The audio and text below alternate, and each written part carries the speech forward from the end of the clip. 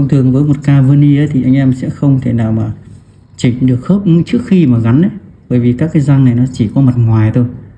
Đấy, vì vậy mà mình sẽ thường sẽ phụ thuộc rất nhiều vào xưởng. Mình sẽ check khớp sau khi mà mình đã gắn răng. Thế thì cái khó ở đây là anh em sẽ không tìm được cái điểm nào là cái điểm kênh. Nếu như mình phụ thuộc vào cái cảm nhận thì rất là khó bởi vì mình làm rất là nhiều răng. Và nếu mình sử dụng cái giấy cắn đỏ này cắn rồi hà cắn. Cắn hàm này hà cắn à. thì những cái điểm chạm nó có thể ở rất nhiều răng bởi vì cái lá sáp này nó có độ dày rất là lớn. Thế nên khi mà chỉ cần chạm nhẹ vào cái răng thì nó đều có thể in màu. Thế khi mình phụ thuộc vào lá sáp thì mình sẽ chỉnh gần như là rất nhiều điểm và cái nguy cơ sẽ là bị hụt rất nhiều răng. Thế thì uh, các bạn sử dụng những cái lá bạc như thế này. Đó độ dày của 10 micron thì khi các bạn chỉnh ấy thì mình sẽ đưa vào răng thật đầu tiên. Em cắn lại này đấy mình check nếu như mà không kênh thường mình sẽ cảm giác là gì? Cái răng thật nó sẽ giữ cái dây cắn này. Như trường hợp này đang kênh cái răng cửa. Cắn lại này. Đó thì các bạn rút giấy bạc rất là dễ này. Thế mình sẽ đưa lần lượt từng răng một mình sẽ tìm được cái răng đang bị kênh này. Mình cắn lại này. Bên này không kênh này. Há cắn này. Há này cắn này. Há này cắn này. Đấy, khi mà chặt này thì mình không cần phải cố dứt để cho nó đứt đâu cái lá bạc này không phải là dùng cho nó đứt.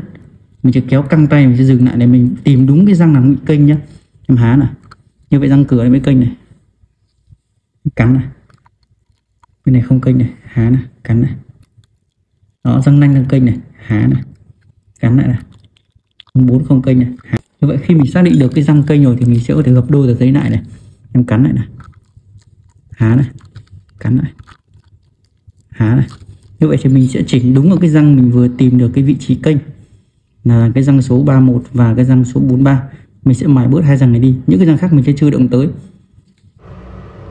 Đây là một cái ca lâm sàng khác. Cho các bạn thấy là sau khi mà chỉnh khớp, nếu mình không kiểm soát tốt đấy thì mình có thể làm cho cái tình trạng đó là gần như là không có điểm chạm ở tất cả các cái răng sứ ở đây là một cái ca nia vươn. Ở đây là một cái ca cũng làm vươn nia.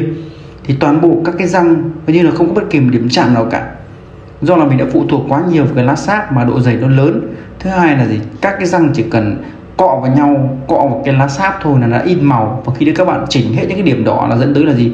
Ở đây là check thì gì? răng thật thì chạm, nhưng mà răng sứ thì không có bất kỳ một điểm chạm nào cả.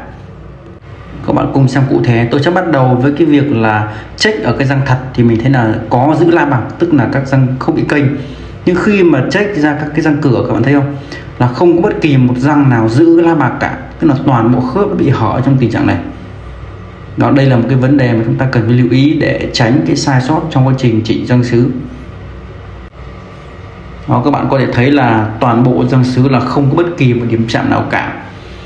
Đó, những cái này nó sẽ gây ra một cái rủi ro là những cái than phiền của bệnh nhân về cái ăn nhai kém hay là có thể dẫn tới một tình trạng nặng hơn là rối loạn cấp thái dương hàm thì bạn nên lưu ý hơn trong quá trình trị khớp. Thì cái lá bạc sẽ giúp bạn kiểm soát và mình xác định chính xác răng nào kênh để mình sẽ chỉnh đúng răng đấy và mình không mài mà chỉnh những cái răng mà nó đang bị hụt. Đó, cái việc mà các bạn chỉnh quá nhiều răng một lúc thì nó sẽ gây ra cái tình trạng là hụt khớp. Để khi mà mình dùng la bạc mình phía trước thì mình sẽ biết được răng nào đang kênh thì mình chỉnh đúng răng đấy thôi. Và mình cứ hạ dần như vậy và đến lúc là gì? Là mình sẽ đạt được những cái điểm chạm cân bằng nhất. Hiện tại thì Big Dental đang phân phối dòng lá bạc check khớp cắn với độ dày là 10 micron hỗ trợ các bạn có thể check khớp và chỉnh khớp một cách chuẩn xác hơn.